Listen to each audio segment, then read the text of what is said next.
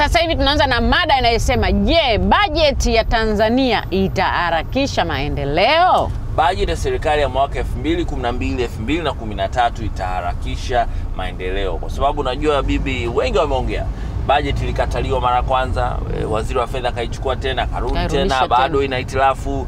Wananchi wanalalamika, wachumi wanaongea kuhusu bajeti, wanasema haileti maendeleo. Kwa tukasema sisi kama Miniba tuna jukumu la kuongea na Watanzania. Mm, Tuwasikie kile. Kwanza hiyo bajeti wanaifuatilia Bajeti ni kitu ambacho unakipanga kama hiki nikiweke, hiki nikitumie. okay, ni kwa hiyo ni mpango wa matumizi ya fedha. Eh. Alright, mama, na wewe kwako bajeti Budget yani ni kitu ambacho unakitumia kwa mpangilio ambao wa pesa zile ambazo ulizokuwa nazo kustopisha mambo mengine ili ile hela iende sawa na mambo ambayo. Kwa mujibu wa bajeti, serikali inakadiriwa kutumia trilioni 15, sio milioni, sio bilioni, trilioni 15 katika mwaka huu wa fedha, na ni ongezeko la asilimia 11.1 kutokana na bajeti ya mwaka jana. Imeongezeka kutoka shilingi trilioni 13.5 jamani, ya mwaka jana mpaka trilioni 15. Wanasema katika bajeti ya mwaka jana serikali iliamua kutumia kiasi cha trilioni 13.5 kama alivyosema. Katika trilioni 13.5 trilioni 8.6 zilikuwa zilikuwa zitumika katika matumizi ya kawaida ya serikali na kadhalika, lakini kiukweli hela zilizopatikana ni trilioni 7.3. Fedha ya maendeleo ilikuwa trilioni 4.9 eh? Na zilizopatikana ni trilioni trilioni 2.6 tu, na inasemekana zaidi ya asilimia sabini ya bajeti yetu inatokana na watu wa nje. Brother, inaonyesha nini? Bajeti kila siku kila mwaka wanahitaji wanahitaji wanahitaji, lakini hatuni mabadiliko yoyote.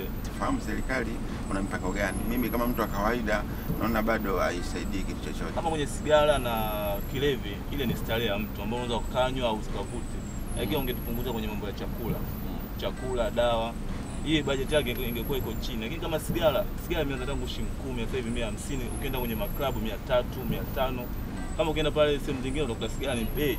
Sigara ni wewe mwenyewe nafsi yako, sasa hivi nivute au kama una hela mtu unaenda ndio nyumbani unaenda kulala Kwa hiyo unashauri vyanzo gani vingine vya vipato waangalie? Madini, Kwa hiyo kama kule mbugani za wanyama kama ndo wakija watalii ila zinapatikana nyingi sana vyanzo unavyovitaja vya kwako kwanza hujaimarisha. Kwa mfano, unategemea kwamba utatoa kwenye sigara na vitu kama hivyo vilevi, ambavyo kama mmoja wa wazungumzaji alivyozungumza kwamba ni, ni kitu ambacho ni, ni mtu ana, ana, anaamua.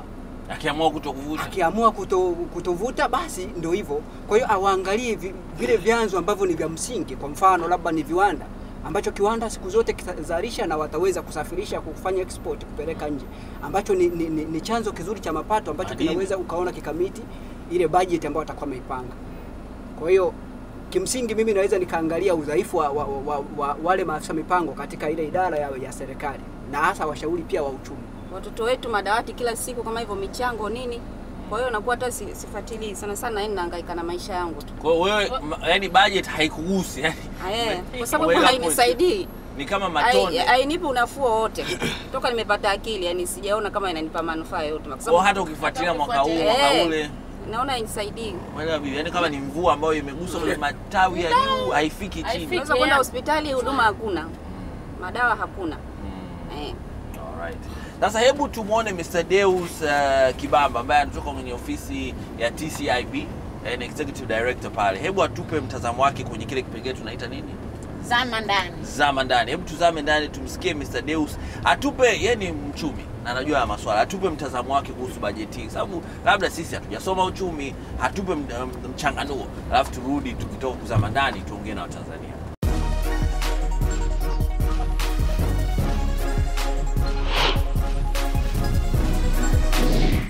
Bajeti ya 2012 2013 ni bajeti sio mpya. Tumeweka kiwango kikubwa sana cha bajeti e, tangu Mheshimiwa Rais Kikwete ameingia madarakani mwaka 2006 e, bajeti imepanda, bajeti ya jumla kutoka trilioni 4 mpaka trilioni 15. Sasa hicho kiwango upandaji wake ungetegemea kwamba trilioni nne za wakati huo, kama kulikuwa kuna trilioni ngapi hivi zinakwenda kwenye sekta za wananchi, afya, elimu, kilimo, ungetegemea sasa kwa kuwa bajeti imepanda imekuwa 15 basi ungepata bajeti zaidi kwenda kwenye hizo sekta za wananchi. Mwaka wa mwisho kabisa ambapo Tanzania ilikuwa na bajeti iliyotekelezeka kwa asilimia karibu mia ilikuwa ni mwaka 65, 66, 67 ndio mwisho. Miaka hii yote tunaongelea utekelezaji wa bajeti kwa kiasi gani, kwa asilimia ngapi? E, bajeti ya mwaka jana imetekelezwa kwa kiasi sio kikubwa hivyo. E, hakuna mwaka katika miaka ishirini iliyopita ambapo tumetekeleza bajeti kwa asilimia hata zaidi ya tisini. Hamna. Mpaka sasa Tanzania ni moja kati ya nchi zinazotoza sana wafanyakazi. Kwa maoni yangu mimi, bajeti ya mwaka huu haina uhalisia hata kidogo. Tanzania haihitaji zaidi ya bajeti ya jumla ya trilioni kumi katika nchi yenye GDP yani pato la taifa trilioni 23 24 kama Tanzania, na hii si hisi ndio, ndio pato letu la taifa. Huwezi kupendekeza bajeti ya zaidi ya nusu ya pato la taifa. Kiwango ambacho bajeti hii inaweza ku, kuongeza ajira ni kidogo sana. Nikupe mfano, waziri anasema e, maeneo ambayo tunaweza tukaongeza ajira, anazungumzia kuanzishwa upya kwa mujibu wa sheria wa JKT. Kiwango ambacho kitapeleka JKT kwa kuanzishwa huko ni watu kama vijana kama elfu tano lakini tunaambiwa kati ya vijana laki nne na vijana laki saba wanaingia kwenye soko wanatafuta ajira kila mwaka. Sasa elfu tano na laki nne mpaka laki saba haya maswali mi naomba niwaachie Watanzania. Nadhani ili Watanzania waweze kupima bajeti hii itaongeza ajira kiasi gani na haitaongeza kiasi gani, tusubiri utekelezaji wake. Tumerudi, tumetoka kumwona Mr. Deus Kibamba kama sikosea, si kweli kabisa. Mr. Deus Kibamba ambaye ni mchumi na ametupa uh, amezama ndani na kutueleza kidogo undani wa bajeti ambayo tunayo. Haitengezeki kwa asilimia kubwa toka mwaka ya 60 na kitu sio 65 67, hatujawahi kukaribia kutimia kwenye bajeti yetu. Bajeti inaongezeka kila mwaka, mapato tunayoyapata hayaendani na matumizi yetu. Karibu mpano. nusu ya bajeti yetu kipato na, na bajeti yetu ya kitaifa karibu ni nusu, na hata hiyo ambayo tunasema tutai- tutaipataga tuipati. Kwa hiyo ah, na uzuri zaidi sasa, mwisho amemalizia, anawaachia Watanzania wao watafakari. Yeye kesa tafakari na akaelezea sasa, anawaachia Watanzania watafakari. Je, tutafika? brother, haya umesikia hayo, mtazamo wako. bajeti haina- masilahi kwangu mimi Kivipi? kwa sababu mpaka sasa hivi bado katika milolongo, milolongo ya kuhusu upangiliaji wa bajeti kwangu mimi bado haikizi kwenye mahitaji yangu, kwa sababu nikiangalia bado hata vitega uchumi vyenyewe bado vinaona vinashuka vina- vinashuka chini na vipande juu, kwa maana hivyo bado itakuwa masilahi ya kwao wao wenyewe. Babu, umesikia Naam, nimesikia Mhm. mtazamo wako? mtazamaji wangu, huo yani ufisadi umezidi kikweli, hasa kwa sababu mpaka unatuonesha hizo picha ma- mapesa ya- mapesa chungu nzima yako nchi za nje, na sisi wenyewe tunatapatapa Kutafuta budget. eh, kutafuta budget. Sasa ina faida gani basi budget yenyewe? Walinyamaza tu, wakipata kule wachukue wakajiwekee basi wenyewe Bora tuishi. eh, wenyewe tunaishi vipi? Brother, Eh, unachotakiwa ni utekelezaji tu wa serikali yenyewe Kama upi? E, kama baadhi kuna taasisi za, za, za, za, za kiserikali kama mm, mahospitali, madaktari wanagoma, walimu vijuzi juzi sikana wanataka kuandamana. e, wizara zinazo- zinazohusika na hivyo vitu uweze kuweka kipaumbele vitu kama hivyo, ndo kidogo labda naweza tukasema bajeti sasa inaweza ikafaa kidogo. tatizo liko wapi? Kwanza mtu anapogombea uongozi, moyoni mwake, nafsi yake hana huruma na wale watu ambao atakuja kuwaongoza. Kwanza ile nafasi uwaga, uwaga wanainunua, na hapo inunua, anapoingia kwenye ile kazi anakopa kwanza arudishe pesa zake ambazo alizopoteza, afu azidi kujiendeleza kwa nguvu. Hebu imagine, je, madini ambayo ame long time watu wameagundua na ndo wanaingiza pesa nyingi, pesa kiasi gani kipo nje ya nchi, ambazo sasa hivi unasikia kama kuna wanafunzi wa vyuo vikuu wameshindwa kwenda kwenye field zao kwa sababu hawana hela ya matumizi kwa ajili Kwa hiyo unaona sababu, hatuna sababu ya kukosa hela, ni wizi uliosababisha ni tufike uwajibikaji wa viongozi. Yes. Sasa kuhusu zile bajeti, kinavyobajetiwa kwamba zile vitu ambavyo amepangia moyoni mwake yeye, unaweza ikifika zile bajeti anachota hela nusu na robo ajinufaisha yeye mwenyewe Nusu na robo? eh, nusu na robo no. robo ndio tunaongopewa, ndio maana tunakuta madokta wanagoma kwa sababu wale sisi ndio wa kuweza kutusalimisha sisi maisha yetu, tukipata matatizo kufika kule tunatibiwa, lakini sasa hivi wamegoma kabisa, kwa sababu wale ambao uko serikalini walikuwa serikalini hamna wanachokipata. na mambo mengi yanaonekana nchi hii. Kuna utalii, kuna madini, kuna watu wanalipa wanalipa nani kodi mm. eh, mambo chungu zima yapo mm. lakini yote hayatoshelezi, ila watu wanatosheleza kuchukua pesa kusafirisha tu. ah. Yes. Wakati wa kwenda mtaani na kupata buzz pop umefika. Twende mtaani tusikie maoni ya Tanzania, tupate buzz pop, alafu turudi na kuendelea na mada.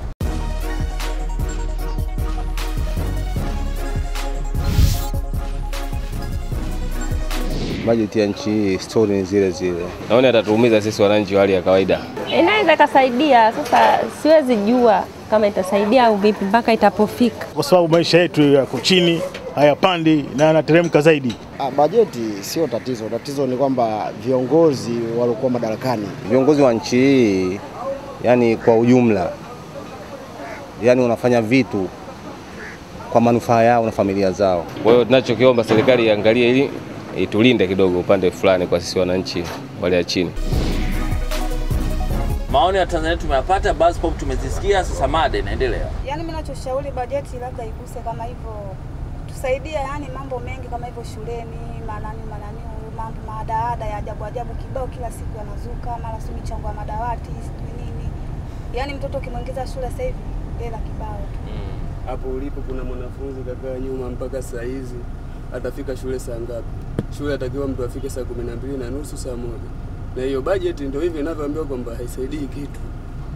mm. Oh, anje aache kutunga Kwa sababu budget, sio- kama so. wilaya ya Temeke labda ingekuwa hata na gari tatu nne, au sio bwana, katika trilioni hizo yani wamejitolea kwamba kila siku asubuhi zipitie barabara hizi, wanafunzi wawahi shule Kigamboni, au sio? Mm. Tungeona ndio umuhimu zaidi yani, kwa sababu elimu ndio kila kitu yani, ndio msingi wa mai maisha. maisha. White Yes. wenye kona. Labda mimi niseme tu kwamba nini nashauri hapa kwamba uh, siasa ijitenge na taaluma. Kwa maana ipi? Kwamba wakati mwingine sio kwa, wakati kuna mtu amesema, labda nafikiri ni wewe uliuliza kwamba labda hakuna wataalamu Tanzania. Mimi naweza nikadiriki kusema wapo na wamelipiwa hizo ada na, na serikali yenyewe, lakini tatizo linakuja ni siasa mtu anapopeleka labda evaluation ile tathmini ya ile budget katika hali ya uhalisia, mtu mwingine anaikubali kwa sababu ndio ana mamlaka yale ya kisiasa, anaichukua kisiasa ili aridhishe sasa ule umma kwamba kipindi mwaka huu labda tumepanga trilioni, unaona imeongezeka, imekuwa hivi, ili wakati mwingine utakapokuja katika hali ya siasa awe amejiwekea nafasi nzuri zaidi. Kwa anadanganya umma. Anadanganya umma, hawezi kuonyesha vitu vilivyo katika uhalisia, kwa maana ya kukataa uhalisia wa wataalamu ambao ni wanataaluma. Kwa hiyo siasa ijitenge na taaluma. wanatangaza wajawazito na watoto hamna nini huduma ni bure, lakini ukienda hospitalini unaambiwa upeleke vifaa mtu mzazi. Kwa hiyo inakuwa imsaidii chochote, inakuwa wao wanakaa tu yani kule posho ya kwao, kila kitu cha kwao.